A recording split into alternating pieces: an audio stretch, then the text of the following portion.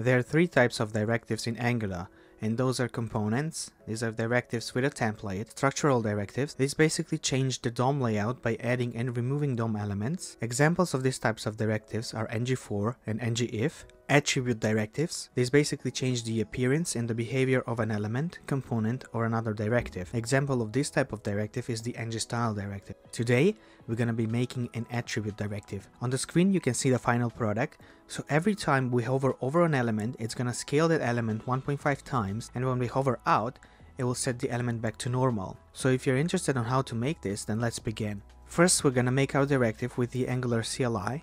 Then I'm gonna move the directive files into a folder called directives and inside my scale me folder.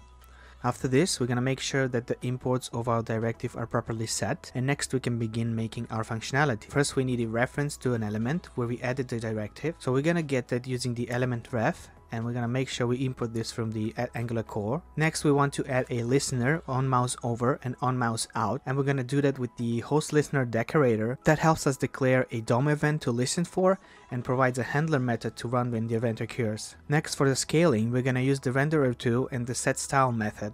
Set style takes a few parameters, the element, the style, the value of the style, and some flags. In our case, we're going to use the transition 0.3 seconds ease out, and then we're going to use the transform scale 1.5 times. And for the mouse out, we're just to reverse that. Now if you need to add more styles to an element, you're better off using the add class and remove class methods that the renderer 2 provides. Now let's just add our directive to a few components and see what we'll get. I'll add this to the h1 tags and to this button and when we run this we can see we get the desired effect. So that's how to make a simple attribute directive in Angular. Thanks everyone for watching, I hope this was interesting, post your comments, questions and suggestions down below and I'll see you in the next one.